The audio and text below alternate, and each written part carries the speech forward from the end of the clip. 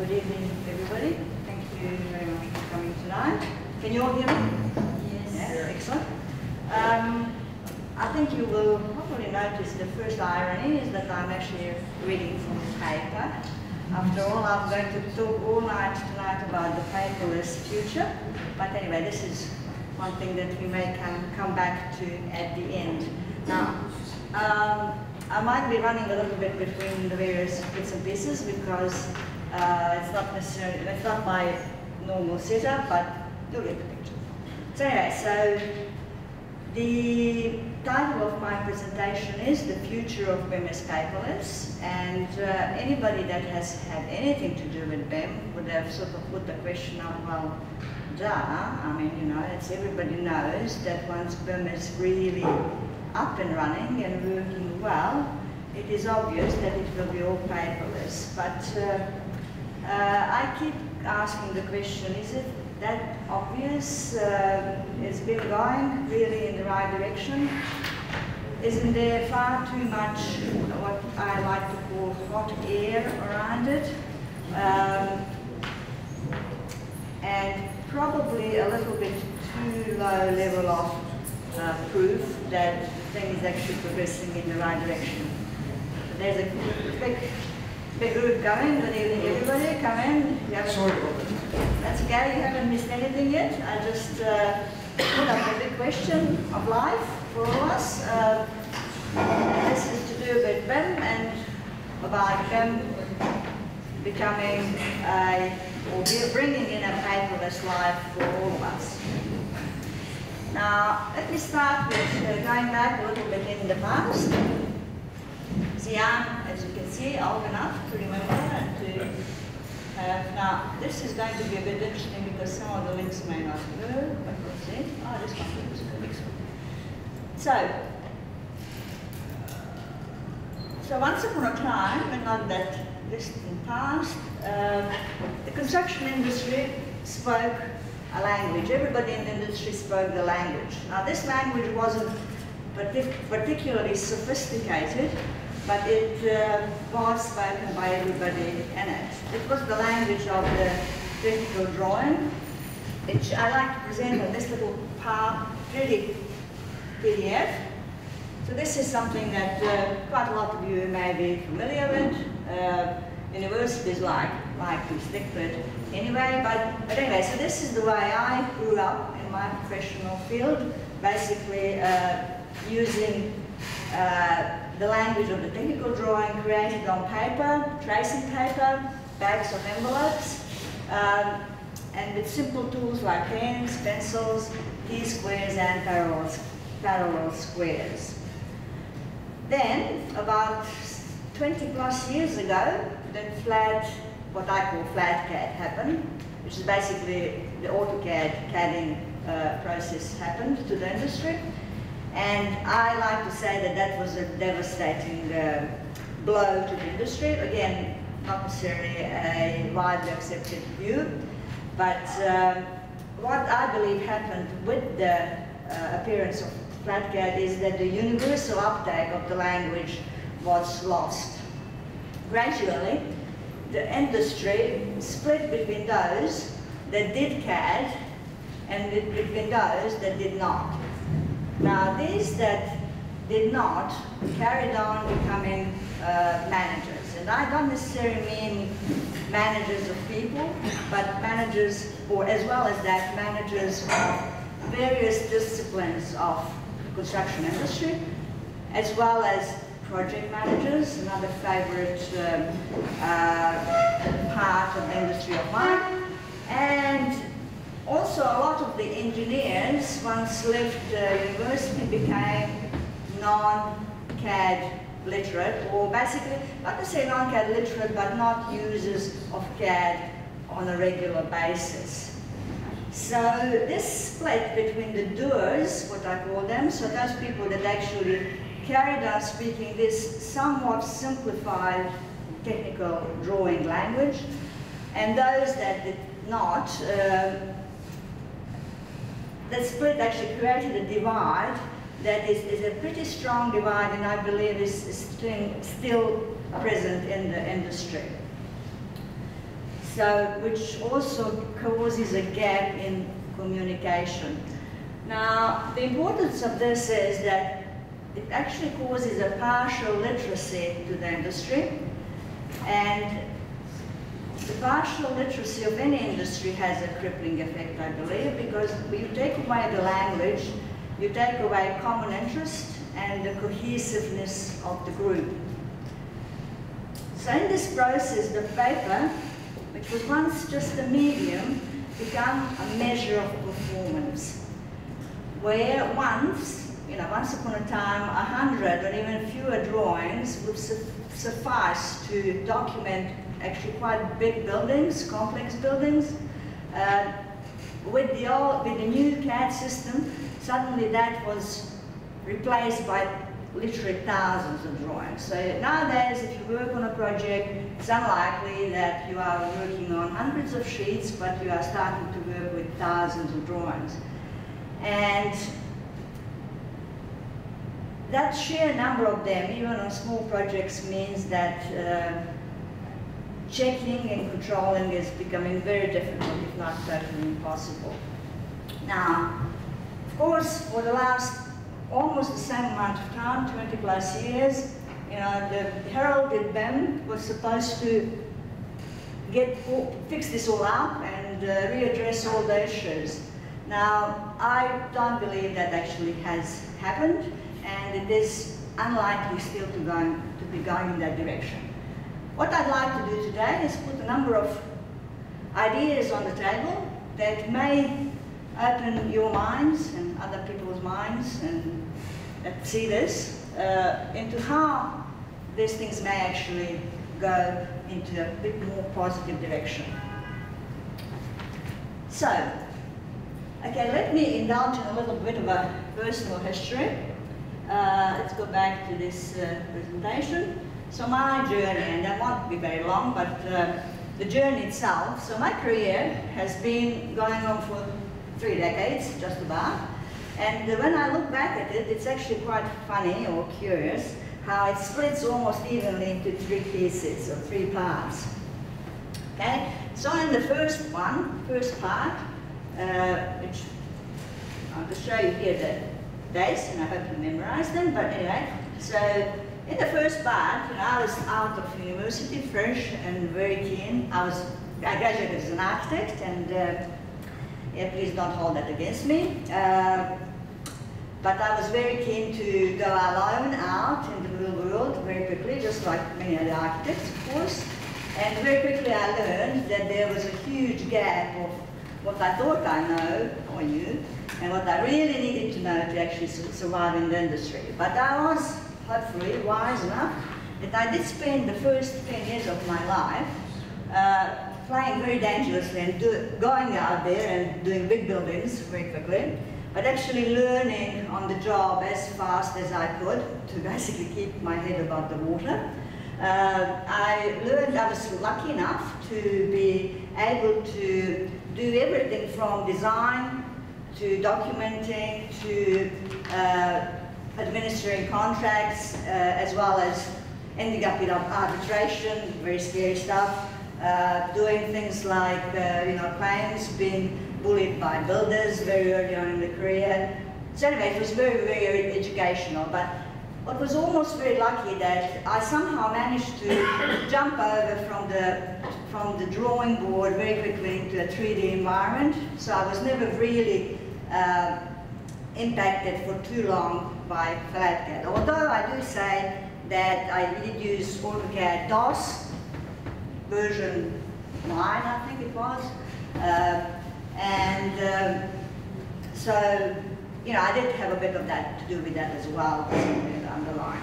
So, 10 years down the track, so we're jumping quick, quite quickly here. So yes, I got into BIM, and this is uh, actually quite early in my career. So if you look at the, the, the dates, you're going back quite a number of years. So the next stage was my, what I call my confident years. So suddenly, oh, by this time, I really learned how to get by in the industry, to not get totally rolled over by the builders, by the project managers, by the QSs, by the planners, and everybody else that was sort of pushing the architecture industry around. And, and this is the time that I really become super positive about BIM, what it could do for me and personally to again survive in this industry, but what it could do for everybody else, from my clients to the contractors that I worked with, uh, but also to the whole process of including manufacturers and, and others. So this was my absolutely wonderful BIM time. Interestingly enough, uh, this wasn't actually the time that other people were interested in BIM. So uh, I was looked at as a bit of a weirdo at the time because this was a time when everybody was doing CAD, AutoCAD, you know, lots of discussions were about file sizes, you know, mine is your file, five megs, and an AutoCAD file is only, I don't know, tenth of it, and things like that. So the discussions were never really, um, I would say, sort of meaningful because we discussed two different approaches. But anyway, so I say I was, I was very, very, very much into it, and I also very much believed that it was all just a matter of time, that things will sort of pick up, that it was so logical to go in this direction that everybody will see that light after a while. So, consequently, somewhere down the line and around this time, my husband and I set up a business based on this whole this confidence, uh, which was called Predefine, and it was basically offering virtual construction services Again, a type of BIM that was absolutely unknown, uh, very unfavored type of, of, of, uh, of BIM, even by uh, software uh, manufacturers or software developers at the time. It was all like, you know, we not we don't want to touch construction. We just want to work with the design community. And once the design is up and running, then we'll look at the contractors. We believe you know, in, in the opposite, that uh, while there was, of course, uh, uh, a lot of scope for design to use them, construction was basically where the things sort of hit the ground, if you like, where the data really uh, becomes so important in the integrity of it. So we did invest everything we had, plus, plus, plus, plus, into a business which uh, specialized in this, this uh, service. Now, as I say again, we basically were, I don't know, foolish or brave, or you know, you call it. Uh, we developed our own tools. We did everything from scratch. Uh, we had, again, the fortune that after a while we had a group of extremely uh, clever, enthusiastic, go for it young people that work for us who put everything in it. And uh, so it, it, was a really good time to basically go out and do it. Uh, the response was actually interesting to this um, venture because we had we found both ends of the of the spectrum. We had developed a good relationship with a number of contractors, and I will show you a couple of examples just to sort of break it up uh, this talk a little bit. But also we had we met many both contractors and officials, you know, government officials and other people that were supposed to have basically, we thought, supported this whole concept of a uh, uh, an information with more integrity and all of the other things that people say about BIM nowadays uh, for the sake of, say, government buildings. And we found them to be not, not very uh, receptive to the idea. But anyway, so for for the couple of contractors, which I'll mention by the name in a minute, um, we actually did a couple of really cool projects. It was interesting because at this time, yet, still I was at the view that uh, as long as people believed in the concept, they didn't necessarily have to become hands-on. So, you know, if people supported it, that was enough for me, which, which I, you'll see it, I basically moved off from that point. Uh, and what I believe that, you know, we, we could help these guys. You know, we were, we were all out there, so we developed services. We had people on sites working for others.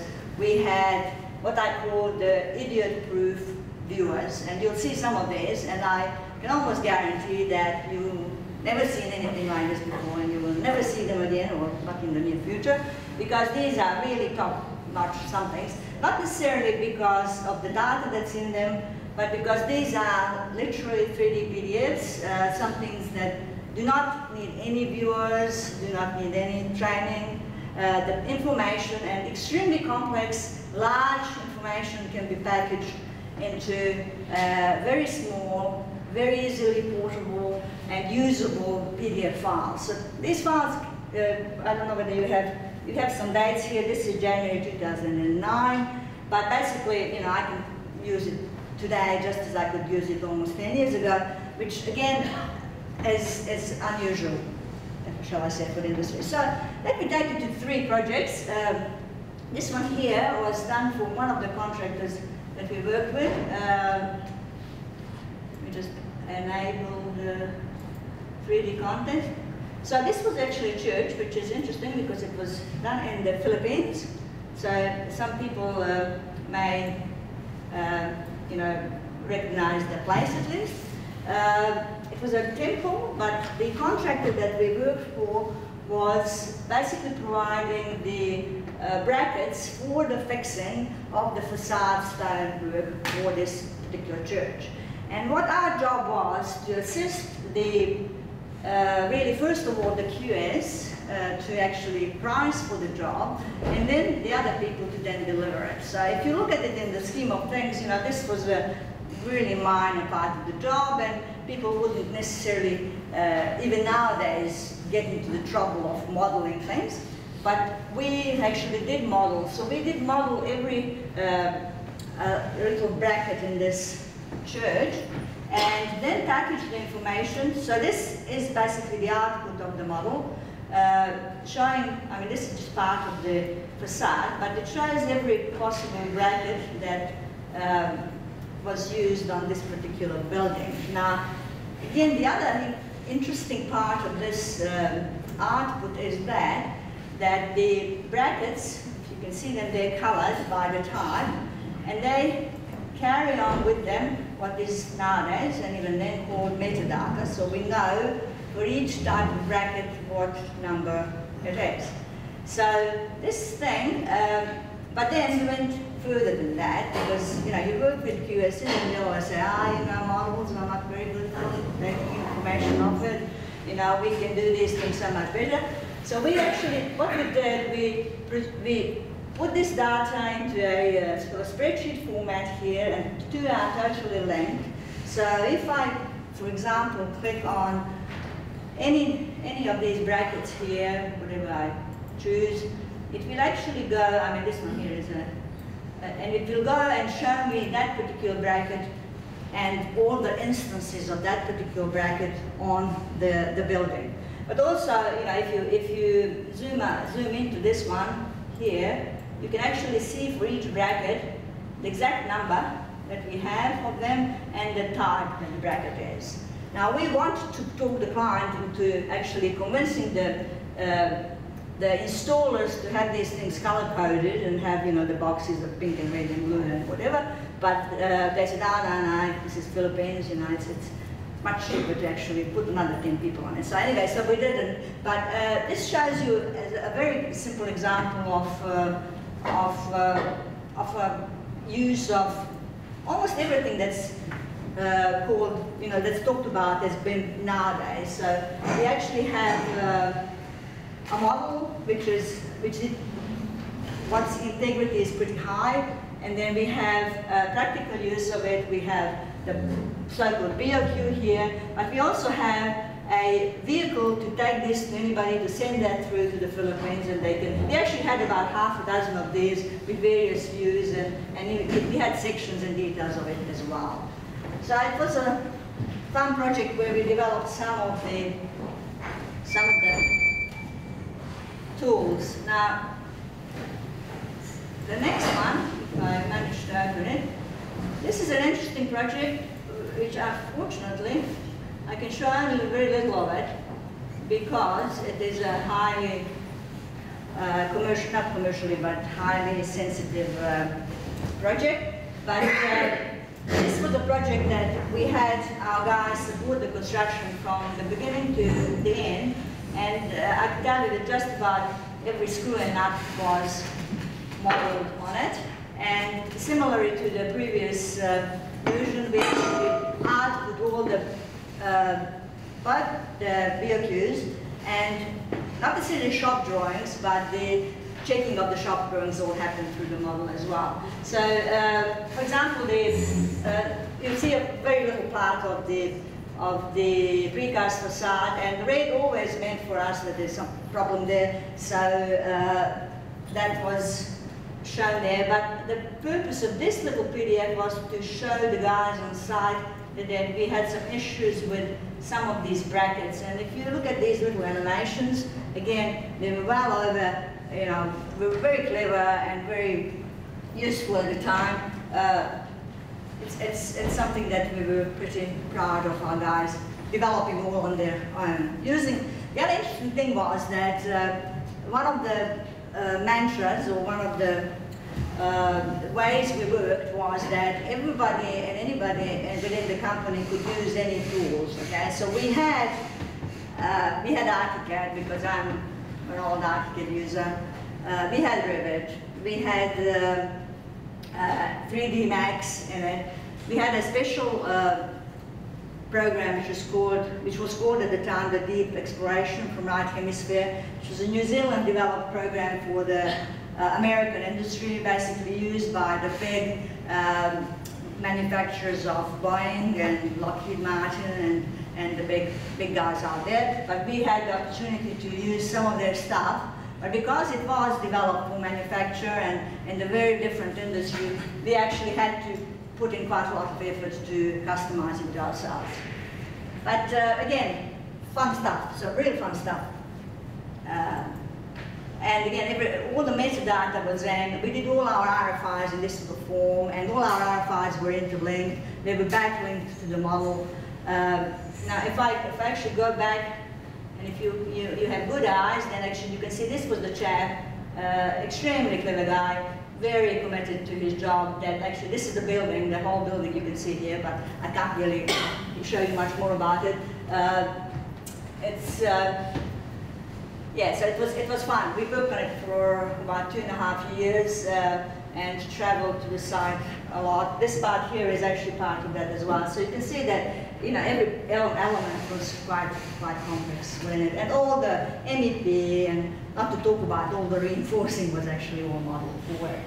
Uh, the last of these, these projects is I wanted to show you is from the first company that I talked about, and because uh, since I've been here, I've been working on various uh, civil projects. You can see one that is uh, a suburban train station that we did. Uh, again, so this is not the model. Again, you, you, you're viewing a, a 3D PDF here.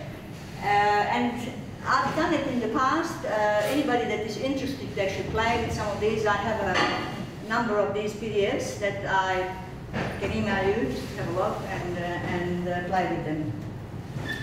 But uh, what you can see here again is, is a number of preset views, so you can, um, you know, you can look at sections and elevations and various details. But uh, it, again, it's uh, it's a full construction model. Uh, integrity is, you know, 90%. All the all the shop drawings are checked through the through the through the model as well.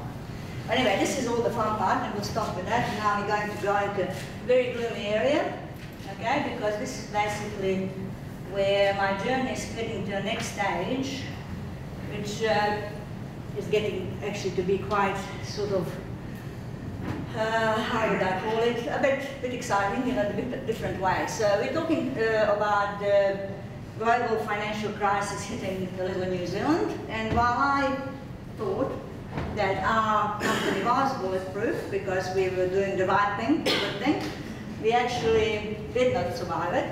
And uh, uh, we crumbled and failed and uh, we lost everything, family and two houses and everything. And we had to leave the country to basically survive. And yes, it was all harsh and sad and educational and um, hopefully character building, but to be still here. Uh, but what is surprising is that even though that was all happening, I still retained my belief. So as, uh, as you can see, this is what we did. So we went from that little country there, you came up over here. Uh, I still believed in BIM, okay? I still believe that it was just basically that everything else that, you know, we would, you think about that. It's a small market, not ready for it. We were too small to this and to that. BIM is going to survive after all. So in these years, I was still very much a BIM supporter. But it took me another seven years working in another three different, or including this one, three different countries around the region and a little bit further that way, to the east, in a country that we won't mention today, okay, where I actually had to face up after a while that BIM was just not working for me. And what I mean by BIM did not work for me, and I'll look for my notes because this is very important, is that basically time after time I had to, if I was applying for jobs, I had to make a call whether I was promoting myself as a BIM person or a technical person. People just could not somehow grasp that I could be both. And this, is a, this was a very uh, disappointing thing for me because I believe that the two actually work very well together. So it's really, the other, uh, parallel with this, all the mandate that came in, if you, if you remember, you know, from pushed strongly from the UK, this is the way BIM is supposed to be done, this is the, this, these are the standards that everybody should follow, otherwise there's no real BIM, and just things just didn't really fit very well. Maybe it was my free spirit, or maybe the fact that I felt that they were putting the horse in front of, the cart in front of the horse, but I was getting really disillusioned with the whole BIM thing. While previously I believed that mandating was good, I, I sort of started to get away from it and believing that you can't really force people, you know. In a way, it's, it's something that uh, people need to get to it one way or another. So I say here that if, if a language, because going back to the language where I started from, can have an IQ, I felt that BIM was basically losing IQ rather than gaining with time. So I was pretty disillusioned and gradually I sort of shifted back to totally non BIM type of roles. I, what I call it, I went underground about four years ago, and uh, totally, I'm currently a PMDM with a sort of a, a, a weird interest in BIM. Uh, but at the same time, I started and basically carried on doing a uh, sort of writing my blog, who may, some of you may or may not be uh, aware of. It has been quite successful, surprisingly, uh, considering that it is often called as quite a negative one. But I basically use this as a bit of a vent to all my frustration, but also to sort of explore the ideas that, were, that I couldn't find any other forums to do. I mean, you know, this is a good forum, and I do hope that when I finish all this talk, that you'll ask questions or, or tell me things that you believe I'm getting wrong. But when I went to conferences, I just, I just felt that every conference was the same, the same, the same. You know, we did this, we did that, we did this, we did that. But real challenges were not really faced uh, or not really put on the table. People weren't really prepared to talk about those things. And, or the presenters weren't actually the real doers. So I felt they were a bit disingenuous. And so anyway, so I'd say, for me, this was a uh, major sort of a a platform to vent my stuff. And, and with time, I've, I've uh, collected quite a nice little following, and uh, people do chip in sometimes. Sometimes they just let me sort of uh, ruin on my own. But anyway, so that's, uh, that's where I am now. So now we're getting to the serious stuff, basically what I'm here for. Uh, and this is basically what what's happened over these last seven years say I've been sort of navel gazing and constantly checking, okay, well, maybe I'm wrong, okay, but maybe there is something in it, and maybe how, how would I collect all these reasons that BIM is, I believe, not working very well. So I put together a list of five of what I call the culprits, and I'll uh, explain them pretty quickly. The first is that is I believe the industry is pretty corrupt, which people don't like to accept. And it is like that, I can tell you, just the sake of uh, being a bit more at ease, it's like that all around the world, okay? Uh, maybe you don't use the word corrupt, but it is very speculative. It's, uh, and it is not like other manufacturing businesses. People like to start to say that, look at the automotive industry, look at the, you know, they all have done it, they all managed it. But they're not anything like what we have to face in this construction industry. It has huge and regular ups and downs, okay, and its reward policies or reward uh, systems are really murky. And this is the important part because people, again, always say that, look, end of the day, it is the client that will pay for badly managed projects. Well, that's not true, okay? You know, if you have spent any real time out in the industry, you will see that the clients are probably the least likely to pay for it? Especially if the clients are you know, developers or some other of those up, upper ones.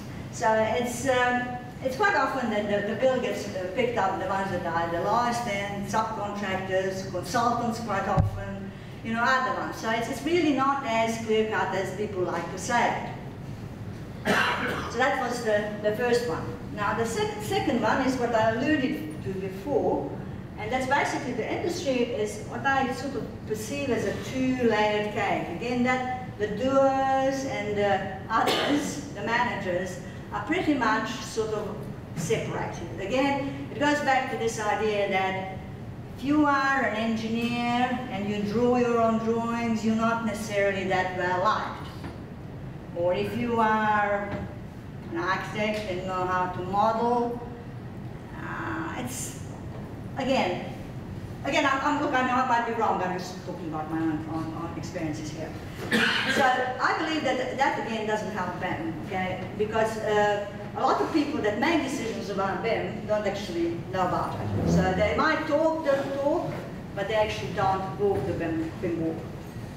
Now, the next one is, is this one, okay, my favorite, okay? Is that, uh, and I, because I enjoy it daily, it's basically that this is what is the language currently of the industry. Okay? Go out to any real project management led meeting and basically what, what's happening is that the ones that are winning the loudest ones, the most so-called confident ones, the ones, ones that can really push the contractor and the subcontractors and everybody in the corner make deals and all that. So again, this sort of environment does not necessarily suit something that is much more refined, much more you know, sophisticated and, and, uh, and, and, shall I say, intelligent. So it's, it's, it's a hostile environment for them. Uh, very close to that is this one here. Now, a lot of software manufacturers or software developers focus on the graduates because they believe that, you know, I'm sure that we have some of you here as well, students, you know, they pick up these tools, they get excited about them, they really push the boundaries. They go out the industry, they'll pull out and, and the thing will, will fly. But what most graduates face, again, is that they go out to the industry, they may be quite excited about it, but quickly they get into that position of having to choose, okay? Again, whether they want to actually progress their career and go up and then sort of shun the whole BIM thing, or actually become a BIM and be stigmatized for life. Again, this is my experience. So with that, we're basically cutting off that fresh blood. Okay? And we are, we are stopping them to truly contribute to developing that BIM. Yes, they are naive, they are full of ideas that are not necessarily buildable and all that, but unless we actually have that fresh blood going through our, the veins of the industry, the vein industry is again doomed to fail one way or another. Now, Florian, you tell me if I'm running out of my time because You're fine. I get a bit carried away. Okay? So, number five is, is this lack of incentive. And uh, really, again, you know, you go to, I've worked in some large companies around the, the region, and you know, you go and you have a, what they call a um, visionary CEO. The visionary CEO is say, okay, well, we know what we need to do from tomorrow, we'll be all done. Okay, so they've got 2,000, 3,000 people, and then they get a manager who will make up a implementation plan, and then people will start going to these courses and then get their certificates. And one year goes by, and two years go by, and really, you know, nothing really happens, okay? Because the everyday jobs have to carry, be carried on. These guys are not pushed in any other way, apart from, okay, well, look, I've got the certificates up there, I know everything about BIM, just go and do it, you know, there's the BIM department, go and talk to them, you know, just leave me alone, I've got my shouting and bullying to do, okay? So basically, that's, that's what happens. So there's just no real incentive for that upper crust, what I call, which is not really a good word because crust means small, but this is actually quite a chunky, chunky thing. So, this is something that I I um, sort of like to, so this is basically where I came to after all of these years of thinking about all of that. But um, um, I want to again emphasize one and five, because these two are so difficult to change, really, that most people that get into BIM very quickly decide to actually ignore them because they're just too hard. Which is, which is unfortunate because these are what I call the sort of the the bookends of this whole resistance. You know, they keep this resistance strong. So if you don't do anything to them, then you're sort of spinning your wheels in the spot. So, and to be a bit more sort of picturesque, I love this picture. So, you know, they are this, they are this big elephant that's sort of sitting in the, in the whole thing, but we're not prepared to, to face it. You know, we go to confer again, conferences and we show all these nice piping in five different colors or clash detection or whatever, you know, all, all the nice pictures and everything. But really, the elephant is still sitting there and we're sort of squeezing underneath it. So it's not doing much good for us. Um, so these are the two that I, as I say, if you don't like the word corrupt, forget it. But speculative is an acceptable one. Uh, construction and low participation in them for a while, and again, you can sort of dig through my, my blog, for a while I have been saying that what we should be actually having is a sort of a participation index that is given to companies, okay? Again, when a company says, hey, we are fully BIM, okay, that's fine. How many people? You have 2,000 people, how many people are BIM literate? You know, and you say, oh, well, we have a big, big department, it's got five people. So, you know, give a percentage. So it, it is measurable, but again, something that people are very, very careful, very wary of actually going into. So, uh, yeah, I just said that. So really, this is what the reality is, and as I said, the, the crust is sort of a bit upside down here. Going further, okay. Now, where did I stop? Okay, so yeah, this is what I wanted to say this though that the idea that the industry can, going back to this sorry, so going back to this slide, you know, when we talk about an industry and its ability to reinvent itself, to become better, uh, saying that we can do that with this part of the industry, with, well, you can have a pie chart if you want more technical, to become basically information illiterate, that because that is what it is, I think, I think it's naive. And uh, I'll go further because I often hear this, that the claim that some people are just too expensive, they're too knowledgeable to be wasting their time on actually learning uh, the language of, of, of, of, the industry. So, and I, I believe that is at the core of the problem or the, of the whole issue, and I believe it is extremely arrogant to say that, okay? You know, and, and nowadays, I don't think that anybody is too knowledgeable or too expensive to not to actually dig into that. Now again, the level of that involvement is something that we can again discuss, whether, you know, how deep one should go in within uh, their own roles and responsibilities. But uh, I find that this, the moment is pretty much black and white. You know, people that are here are pretty much non-BIM users, and these people here are the ones that do everything that is to do with BIM. All right, so I came up with this great idea. Oh yeah, no, sorry, this is this is to do again by with uh, getting people actually moving into this. So you know, ultimately people do not like being pushed. Okay, um, anybody or everybody can recognize that uh, people change their ways of doing things only if they really have very good rewards or if the uh, consequences of not doing it, not changing us too damaging. So, you know, again, I can talk here till, you know, the cars come home, but, you know, you or you or you, whatever, one go home and suddenly start learning them. Okay? You will learn them one way or other. If, you, if your job is at stake, okay? Or if your company promises you three times the salary, or if suddenly your career prospects are widening with it. So really that is just the pure nature of us, everybody, and uh, we really again need to recognize that. So, beginning there.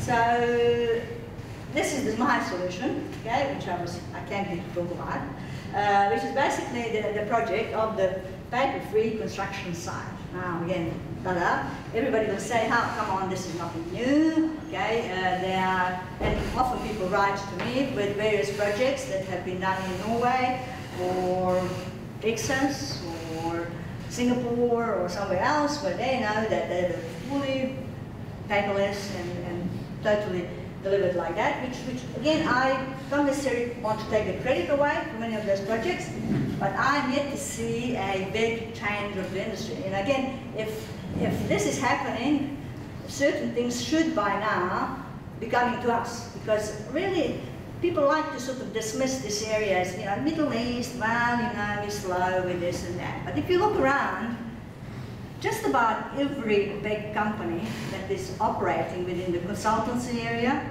within the construction area, is present here as well. So, if they are really so successful in Norway or Singapore or whatever, well, why wouldn't they use the same principles here? So, this is what I'm always saying is that, you know, it's, it's, there is something there between what is being talked and what is being really happening. So, my so I call it my, this is my, my uh, uh, paper-free construction site. And this was the idea that, as I say, I've chewed over for many, many years. And let me sort of take you through it.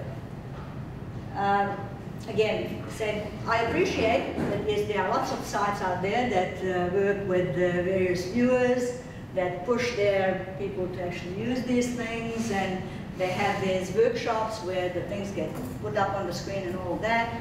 But the real participation is something that if you could measure it with a measure, I think would be very, very low. Okay? Um, so what is the alternative?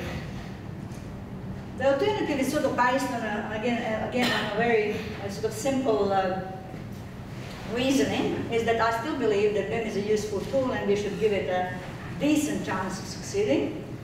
Now I believe that it only works when everybody is doing it in a project. Again, as I said, that's doing it is, is a term that should be discussed at more length, but I won't have the time today. Um, and for that, it basically means that there's non-hands-on people, we would need really to get out of their comfort zone and learn that. Uh, now, it's, it's extremely unlikely that people are self-motivated, so they will really need to be pushed. And that push can come from two directions, again, with a bit of a carrot and stick uh, approach.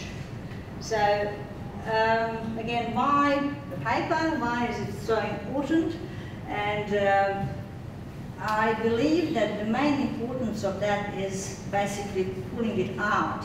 And I'll show you two examples of what I call currently paper misuse or hiding behind the paper. Again, if you remember at the beginning I said, you know, a Sydney Opera House was probably something that I've got of great interest in this project, was uh, documented with a hundred or a couple hundred sheets of paper, okay?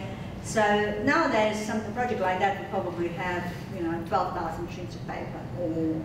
So uh, that pure number, sheer number, uh, allows us to hide a lot of other things that we shouldn't. Now, there's two examples here I'm going to give you. Um, this is a little, just a little uh, sketch. But this is a project that I worked on uh, seven years ago. Um, it was done by quite a famous consultancy, uh, international consultancy. And uh, again, I won't go into too much libel here, but uh, in the approval set, so the set that was approved by the client, basically I found 33 instances of the same floor plan and you can see actually some of them were blank, the sheets. Of very, quite often very shoddy, very, you know, this is again line types and other things. So this, this is one example where we have a large international consultancy that produces a set of drawings, thousands, and within that, you know, there's so much crap, really, that is, is extremely worrying. But unless you actually go through it, you don't know. You know, and, and nobody knows it. They put it on a table, they get paid, go on, move on.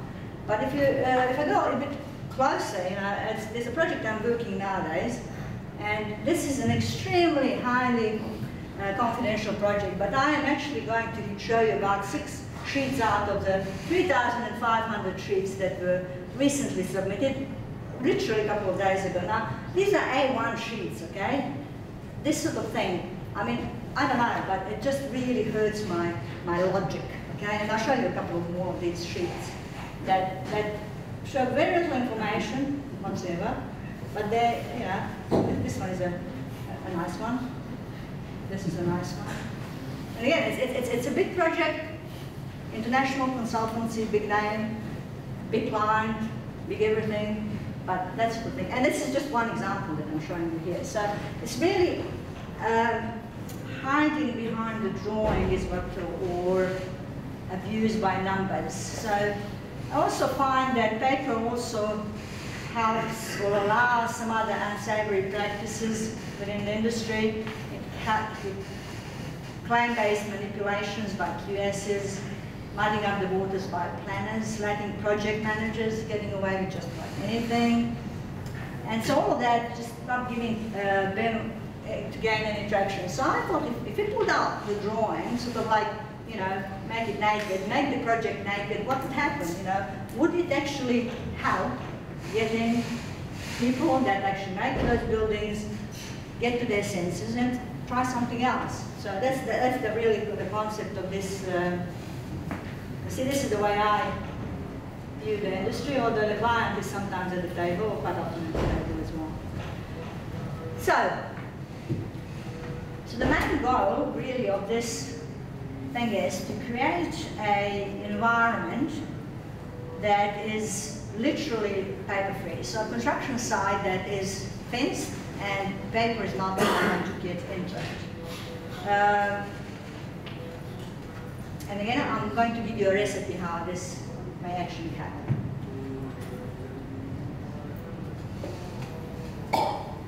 Okay, so there's an example project here. so the project is fenced off, no paper allowed inside it, okay?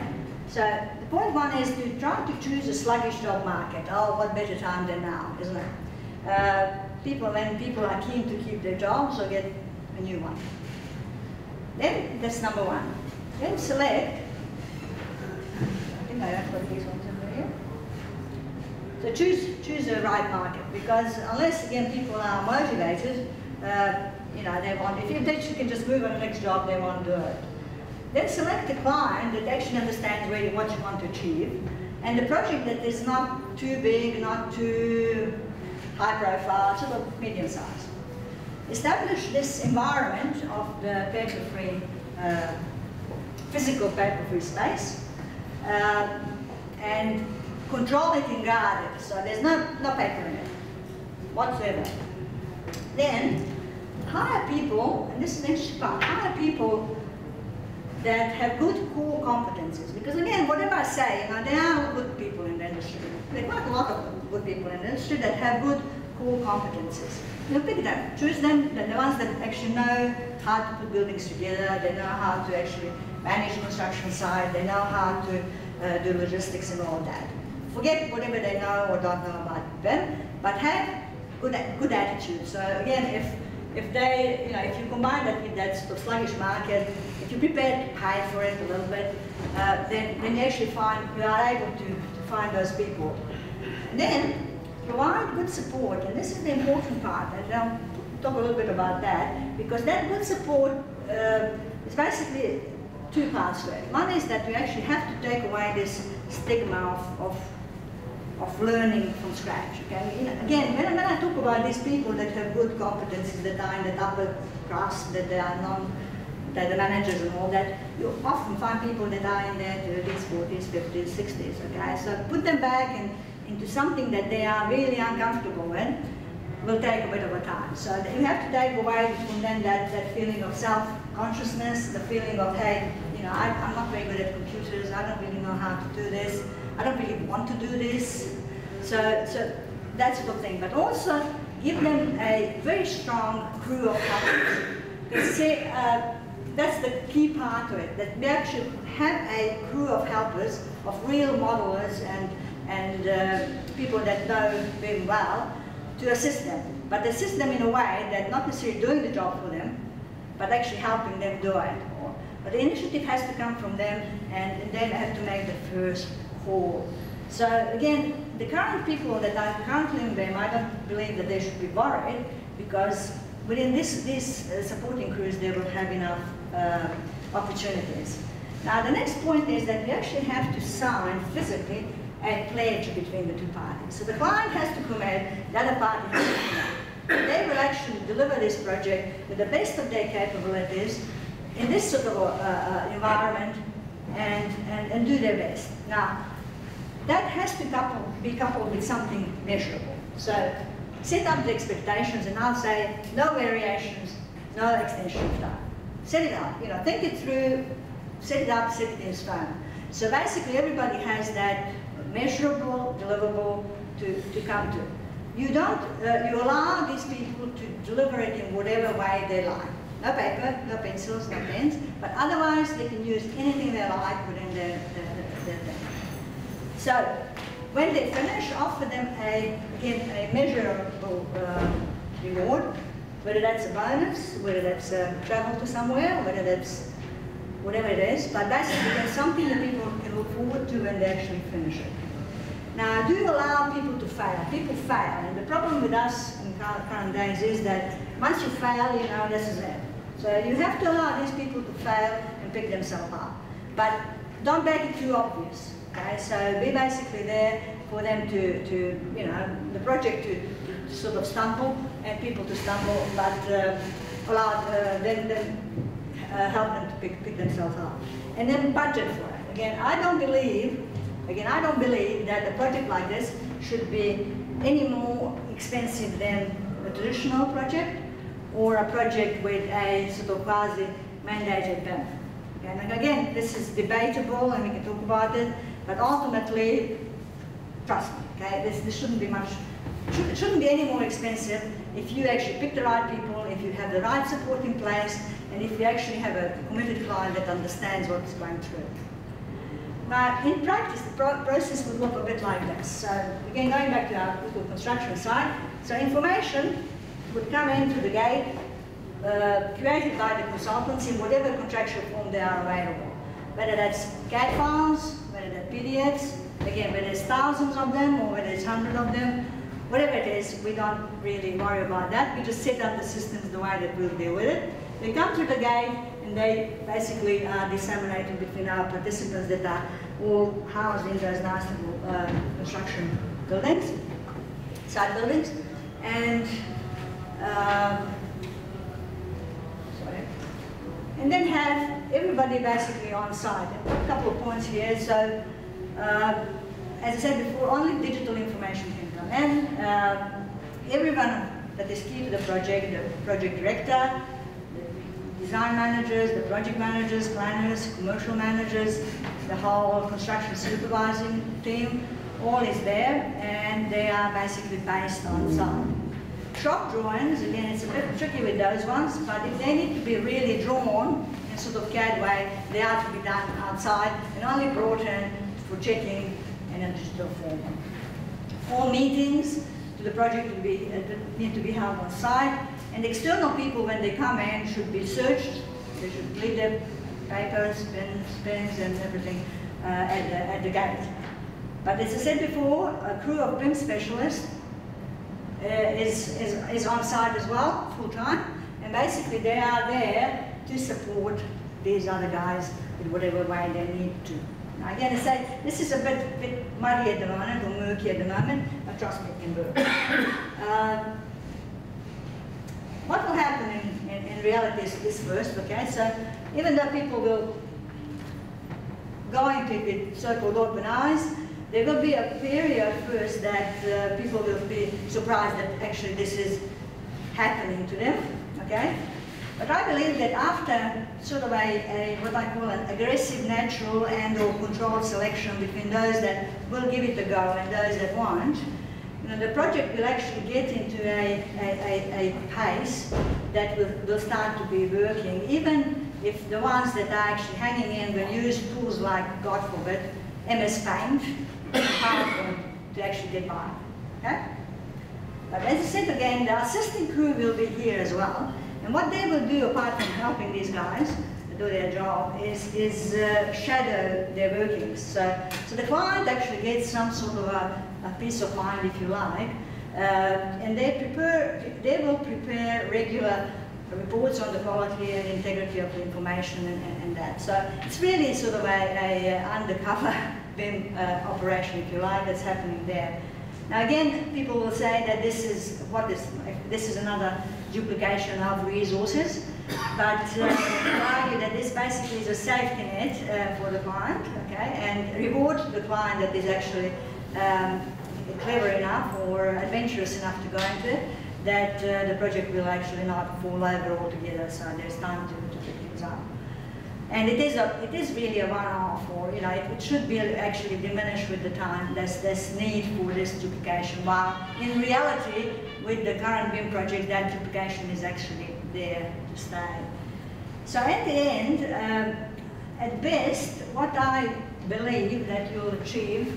Sorry, this was the yeah. I was going to show you some of these. You know, they may end up with sort of these sort of tools, but hey, let them let them let them play and then use them to actually figure out the buildings, figure out the plans, and and uh, I, I find that, see, I've met people that do uh, marvelous things on PowerPoints, basically, but uh, are extremely scared of anything else because, again, that learning process and, and, and that worry about looking like they don't know their job. So, at the end, what I believe that the best we can accept from that first project is about 50% success. 50% I mean is that, you know, you shoot through a number of people that will be just unable to pick it up, even though they might want it very much. And about 50% of actually achieving the target of no variations and, and uh, no extension of time. Maybe less, but it's around there. So, you know, you really need to budget for that. But I also believe that you will end up with a harmonious project on the end. You will end up with a group of people that will feel that they've achieved something apart from delivering the building. Uh, now these people will actually then become your ambassadors or whatever you like, your little bimbies that will go out. And now we're not talking again anymore about BIM specialists. We're talking about real construction people, project directors, uh, project managers, design managers, various other disciplines that will actually go out and in the next project they will start talking about it, they will expect these things to happen. So you really actually start then rolling out something that will hopefully keep on giving to the industry rather than just sort of uh, sharing the, the thing. Now the other thing that I expect will happen is that once these people start really getting into it. Maybe not first project, maybe not even the second. They will start actually looking seriously at the tool sets that we have currently on the market. And they will start finding that, hey, they're actually not that great, okay? And I know that people don't like me saying that, but uh, they will hopefully actually start impacting how our software is developed because it will come from above, okay? It, won't just come from the draftsman, the, the, the the modelers, the coordinators and all that, but they'll come from the project directors who will say, hey, yeah, I've been through this, but look, my software should be doing this. I know that. So, so this sort of impact will impact on those guys as well. And you won't be just able to sort of sell, oh, well, look, everybody in the industry is using this, so you should buy this, or everybody is using that, you should buy that. As well as that, I think they will start to, to look around and find other tools and, and, and make them I'm, I was, I've been talking for years about, you know, the gaming industry has got so many things that construction should be using, really, adapting. Maybe they find that, hey, you know, forget all that, let's go into something, uh, someone from the game, gaming industry. And they will be the ones that should be and will be setting the standards again. You know, that cart and horse forget it. So basically, after, after going through a number of projects, good practices, good, good systems will be coming out and, there for the rest of the industry. So just about finished. Uh, uh, getting to the absolute end, uh, exciting part. You know, why not? Uh, in current times, you could actually live stream, uh, live stream the whole thing and, and get it out to the industry. You know, you can have people uh, following it and, and get excited, motivated, because you can see that, hey, other people are doing it as well. Uh, you could also have two companies set up that doing it in competition if you find the right, right sponsors or right uh, platform to do it. So this is my little conclusion basically. Uh, this is unfortunately the only path I see to viable construction uh, in the future. Not necessarily just from the point of becoming more digital, but probably becoming more ethical as well and sophisticated. So my summary, compressing it all into one sentence, I believe that for them to survive and thrive, we need to work both on the overall characteristics of the industry, so we can't just ignore that it is, it is what it is, uh, and the level of uptake of the language of the I chose the construction part because I believe that is a crucial part where things uh, head. Again, when, when the data actually becomes real, um, real stuff. Mean, up to then, yes, consultants do very great jobs and all of that, but there's a lot of stuff that ends up in the in the paper basket. So the construction is real. Okay, construction is real, money is real, time is real, everything is real. And I believe that from then, if it, goes well, it actually will go back, back and forth. So, this basically sort of concludes my little presentation and um, just a question of what uh, I would like you to take away. I hope that none of you will leave with the worry that your positions or roles are in any way uh, uh, endangered, you know, endangered because as you can see some of these ideas are quite radical and uh, not very well supported even within the BIM circles of the industry. But I also hope that at least, you know, one of the questions or ideas that I put on the table will take away and will help you carry on with your little BIM undertakings. So I wish you all very well. And I'm here to answer any questions if you have. I hope I didn't talk too long uh, because we'll have Florian to present as well. I sometimes get carried away. Thank you very much.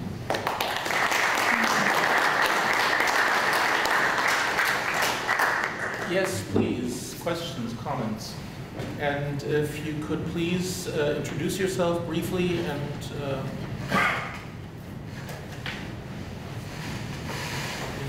um, hi. I'm just wondering why these, I mean, yeah, obviously it is good to go paperless um, environment, let's say, but why do you see it as a you know, solution uh, that contributes that, for example, with the current situation, the paper, half paper, half computer sort of thing, that we, we cannot achieve? Like, what is the actual value of going paperless versus what do we have now? How do you see that enhancing actually the process? I see it, um, again, as a, almost as a catalyst. It's, it's basically, in a way, has got no real value either way, okay? So you can, because people quite often say again that, you know, it's, it's, it's the drawings, and really, even today, you know, you don't actually see that much paper printed, okay? But what I see at, at many meetings is that people run around and say, okay, look, can you please print me this particular thing quickly because I need to go to the to resolve this, okay? Or can you please uh, uh, get me a screenshot of that particular thing? Now, all of those things are on, on their own, they're nothing, okay? Of course, yeah, I'll, I'll, do that, you can do that. But it's basically, they do nothing to move those people that are uh, really needing to dig deeper into models to actually do it. Now, if the paper is not there, uh, and if they don't have the other two cultures, which I may have missed out here, is basically the, the modelers and the, and, the, and the CAD drafters and all them to really put the stuff under their hand at the time. And basically, at some point, they need to do two things. One is actually really learn their projects and understand that by having 3,000 drawings, you know, they can't learn it. So, you know, they will put that push backwards if you like, in the, in the process and say to the consultants, hey, I don't need 3,000 drawings, whatever, that's digital or paper, because I don't have the time to open 3,000 drawings, okay? Because if I open it at a minute, that's 3,000 minutes and I didn't do anything. So I, again, it's, it's bar paper on its own. It's not, you know, it's just it's a paper. It's a, it's a medium on its own. It's not the danger, but it's used and abused for sort of creating the perception of job being done. Let's say also from the point that you plug in 3,000 sheets, whether that's on a disk or whatever, and say, hey, did DD completed, pay me. And for somebody to actually say that, hey, this stuff is 90% right or 10% right, again, they have to spend almost as much time as the people that created it. So that's, that's that vicious circle that I'm trying to break. Again, that may not be the right way, but I'm just saying that if you actually push these people in an environment where they, they no longer have that, it's like, you know, putting them on, a, on, a, on an island without power. You know, people start thinking outside of their, their comfort zone. They say, hey, you know, I used to do this with power, you know, but hey, I don't have power. So what, what, what do I have then? That's, that's the reason of the, of Dr. Dr. Ben Mashaik, I'm the Dean of the Faculty of Engineering and Architecture at CUD, but I am a mathematician by profession. And we went through the debate in mathematics 25 years ago uh, about you know, going paperless, especially for courses where we have to consider large dynamical systems and where it was completely impossible to provide solution to a large scale problem on paper that it had to be done using computer algebra systems and, and big solvers and high computing, etc., etc. My question is this, and this, and I would like uh, uh, to, to, to, to, to prelude it with a question to Florian and to Dr. Hamoud, who is the head of the Department of Architecture. Are we training our students on BIM? And should we train our students on BIM? And this is the question. I can, uh, what do you call it? Uh, uh, sorry, I cannot answer that with a simple word. Uh, uh, shortly, no. Um, the slightly alleviating answer is there's hardly an architecture school in the world that does that. And my conclusion is that architecture is what you call an old man's profession, which means that you have a lot of youngsters that know the technology but have no influence in the process. Uh, alluded to that and you have a lot of, pardon my drastic saying, so old farts that have a lot of influence but no clue about the technologies. And that is the case in the industry as well as in academia. Most deans of architecture schools uh, are still bragging about their 6B pencils and their yellow tracing paper and the good old days and have absolutely no understanding of, uh, what do you call it, these new technologies. Would like to uh, make a comment, if you uh, allow me. Uh, I just came from the studio now, and we are doing a project, and we are stage, we're producing an urban design master plan. And the ones who are succeeding, the one I forced to draw by hand, and then go to the computer. The ones who are doing by the computer, they're just playing with forms. And I see where you're coming from, because I worked in a company where when we did the project one time, we had $150,000 worth of printing.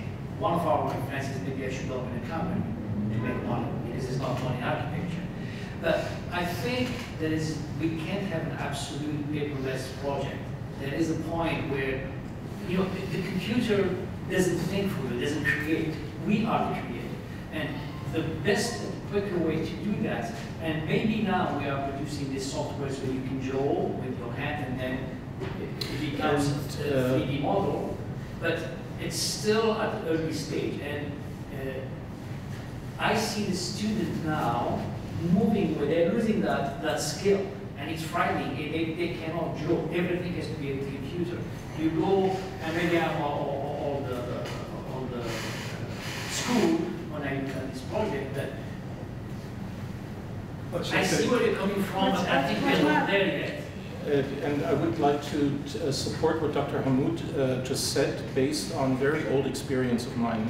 From 1992 to 1997, I taught for five years at the Technical University of Berlin.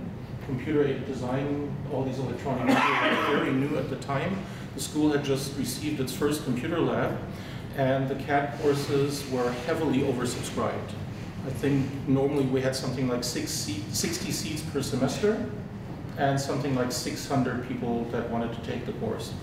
So what we surrendered to was a weighted, uh, sorry, like a lottery system, where we basically said, you know, those people who had applied three times before will guarantee those people a seat in the course. Um, and um, so there was a chance that somebody literally applying for the first time would get into the course, but the, the, the system overall, or the results, were weighted towards the higher semesters. And something that we did experience in that course completely supports what uh, Dr. Hamoud said. Those students who had a training in technical geometry, in uh, what do you call it, drawing the classical, uh, what do you call representational courses, did way better in that computer-aided design course than those students who literally just stumbled into it in the, uh, like the second semester, in, in, their second semester. Because as Dr. Hamoud said, they were just playing around with forms. They thought that the computer is the solution, and whereas the computer really is just a tool. Uh, can I, uh, sorry, can I ask, well, I'll, I'll, put my, my two pence to it. Um, I, again, you've seen that I've, I've trained pretty much on the board. Um, I came across computers uh, after I graduated. Uh, I also had the fortune to have studied in Hungary and had a very strong uh, base in descriptive geometry. Furthermore, I actually taught descriptive geometry for three years after graduation. Now, this is the interesting part of this is that I went to New Zealand and people first asked me, what is descriptive geometry, okay? Uh, descriptive, um, for those that do not know, it, it is basically the, the, the base of uh, um, the, the, or the science of, of uh, uh projections and the science of actually um, uh, documenting the real world in, in, in, various projections. I mean, mainly we're talking about the orthogonal projection of the plan in section and elevation. But see, uh, I found that even the people that did learn through, through the traditional system in the Western world mostly, uh, had very little to do with that. Okay, and it was quite interesting for me because um, young graduates, even, even when they were paper trained and drawing trained, the concept of that for anything to be fully defined in the world, you have to have at least two projections, okay, was, was actually extremely unknown. So people start with floor plans, okay, and then they start elevations and sections and all that. But the reality is that everything is three-dimensional, so you have to have three dimensions, unless it's something like a topographical thing that where the third dimension is uh, given by a number. But where I want to go with this whole thing is that I was very much exactly the same view as you were because I had, you know, I worked with, with young graduates and uh, and all this issue of, yes, you know, they, they do get away with, with this, um, but the reality is that the new generation grows up, is growing up with that, okay, and um, and it, I think the challenge is, is, is, really to actually teach them that spatial thinking um, in, in the new medium. And I, am sorry to say that, but that's what it is. Uh, because if we are not, then we're losing them. And so we, what we're finding is that uh, these graduates come to the real industry, and whatever way they were trained, you know, it is likely that they'll end up more digital. You know, that you just can't get it out of their way because that's the way they've grown up. So they come into it and they find themselves in an industry that because it's, it's, it's, it's such an old industry or old man's industry that people get into the peak of their career in their 40s and plus, and they try to hang around as long as they can, I can tell you that. So you basically face, um, are faced with people or, or huge layers and layers of people above you that you can only progress within that if you drop everything you know about that technology. And it is a waste. You know, whatever you say about yes, they get their brains. It is a waste because if you actually harness this energy to get somewhere with it, then you actually get somewhere. It is, it is an industry that cannot long, no longer afford to be so split because this is what we were split. We split on young and old. We split on doers and not doers. We split on drafters and we, you know, again, as a, uh, throughout my career, I have um, investigated and, and, learned a lot about various architects that I admired and their way of working and all that. And you know, there's well known how Gehry works, okay, that he does everything by hand in his head, and then there's a big group of people that model behind him and do uh, cloud things and all these other things that, that happen. And yeah, that works for him, that works for his team, it works for everybody. But generally as an industry, I think again, uh, we have to come closer. Okay, we have to come closer. We have to find, and in going back to universities, to say, while I do accept that yes, a undergraduate has to learn how to think in 3D, how to capture the space, how to understand the space, how to understand all sorts of things about the space. But maybe the drawing is not the best way anymore, okay? Now, the drawing was, at the time, was the best thing, but that was like, you know, 300 years ago. And again, I, I love, my presentation. I'm sorry to say that. As I say, I, trust me, I love descriptive geometry. It's beautiful, okay? The fact that, you know, and it is all, you know, purely drawing things, you know, you have a one shape and another shape, and then you figure out what is the, the thing between them, then you spread it out into a mesh. Beautiful. But it is like learning Latin, okay? It is beautiful, but it is, it won't, you know, again, as I say, it will put your graduates off the industry. So now if you are prepared to take that risk, it is, it is a big baggage, I believe, to take. So that's, but again, it's my view. So I'm not teaching at the moment, so I can't. Uh. Yeah, hi, uh, my name is Edwin. I'd just like to, uh, I think the topic uh, of this discussion should be about the modeling, uh, paperless modeling. It's more about the uh, paperless management of the information and having one source of information that you can uh, know for sure that it's the correct one. Because um, if you have papers here and there and have different printouts, you can never, never be sure that that's the latest information and the most updated one. Whereas if you have, uh, I mean, the reason that we have drawings is to have get to, to get some information about uh, whatever we're building.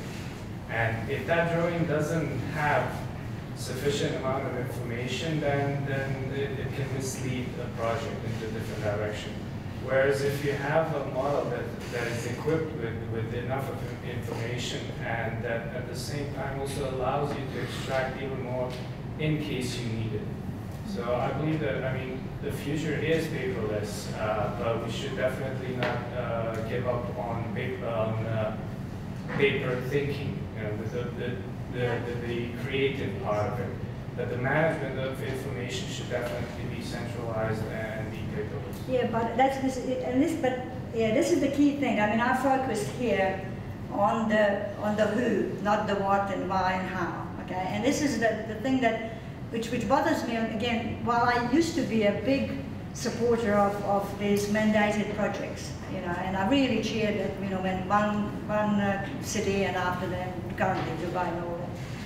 But basically, there's one word that's the problem, okay? That, mandating says that this project must be done in BIM, but not by whom, okay? Because if, if it's done in, I'm sorry, India or the Philippines or over there, it does absolutely or very little to the project. I'm sorry to say that. You know, I used to be an outsourcing company or insourcing company, so I, but I have changed my mind majorly on that one. Okay, so mandating should say that everybody on the project should be BIM literate.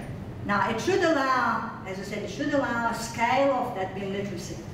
But when you're talking about the paper and, and you know, that integrated model and all of that, when you have that much of the people that are not able to access that information, they're not able.